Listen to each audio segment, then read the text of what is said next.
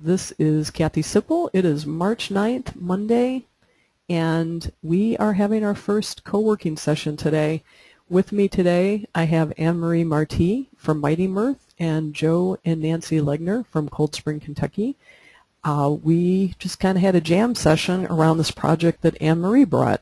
Annemarie, do you want to say a few words about what what brought you to uh, create this design? Sure. Uh, inspired by what Kathy's doing, and I had already created an image uh, with my little characters that I call Earthlings.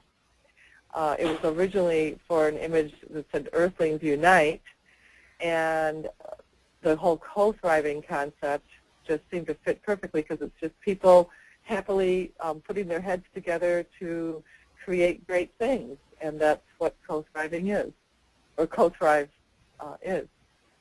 Very cool. And we had um, lots of great suggestions from Team Joe and Team Nancy in Cold Spring, and it was just a lot of fun. This is what co-working is about, is just supporting one another's projects, putting our heads together, and I love how this, you know, this graphic actually shows people putting their heads together, their hearts into it, and co-creating you know, artful solutions. So thanks for bringing that today, Annemarie. Thank you for embracing it. And thank you, all of you, for all of your ideas. And um, we're still tweaking this image. It's not done yet. So if there's things about it that are a little confusing, we're, we will be um,